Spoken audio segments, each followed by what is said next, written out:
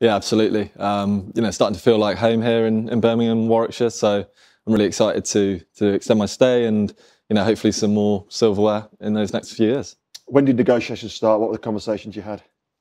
Uh, last few weeks, I've been talking, um, and yeah, just it's just came off the back of I suppose quite a successful um, summer in, in white ball. Ideally, red ball would have gone a bit better, but over the last couple of years, I feel like my game's expanded, playing all three formats, um, and hopefully, you know, I've got to the age now where we can become a, more senior bowler along with a couple of the other guys and um, help pave the way for a few young lads as well. You're potentially heading into the 2023 campaign with a year left on your deal. How much of a relief and how great is it for you now that you can go into next season knowing you're almost not playing for a contract that you've got that security?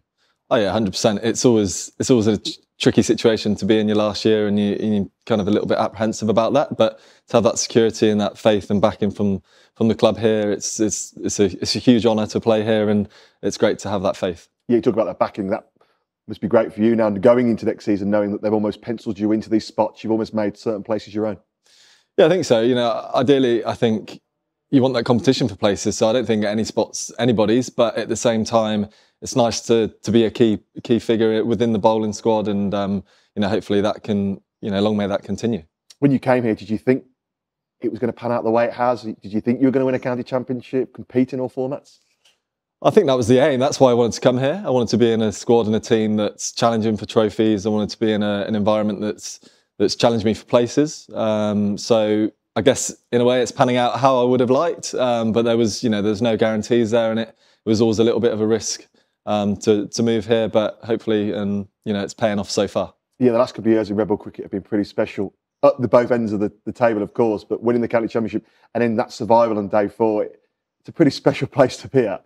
Oh yeah, hundred percent. Like the the 2021 season, that that last day here was fantastic to be out there. Obviously, I wasn't out there this year, but I was watching intensely from from inside the pavilion, watching Liam do his stuff. But I think you know the, the fans behind us in that championship win, and even that last day here this year, like the, the fans of Warwickshire are, are huge, the members, everything, um, and and they do back us um, through and through. So it's it's just a great place to play cricket. You'll obviously be hungry to win the county championship again, but what other sort of goals are you looking at? Do you look at that T20 where we've got to two quarterfinals potentially as the next milestone?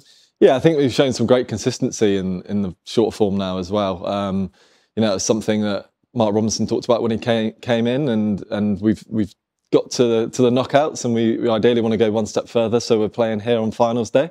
Um, so yeah, I think that's that's something we want to do as a group, but also um, I think you know we want to be challenging that championship title again. What does winter look like for you? Uh, I'm here. There's only a few of us here that have been left behind. Uh, a lot of the young guys have have gone away, but uh, I'm here um, with a few of the, uh, the you know senior bowlers. So we'll be we'll be in the uh, in the gym there and indoor school, um, looking to, to, to put put right this season and, and, and come back stronger. And how much do you look ahead to 2023? Do you start planning that now? is that something you kind of put towards Christmas time when you kind of turn of the year and you can really start to look at that April May start? Yeah, I think probably once once the, the new year's out of the way, um, we'll start to be a little bit more cricket specific. Um, and look to to target areas that we we need to be to be ready for um, come April time. Um, but yeah, for, for now it's simply about getting the body right after a long summer um, and and making a few technical and changes um, in that respect.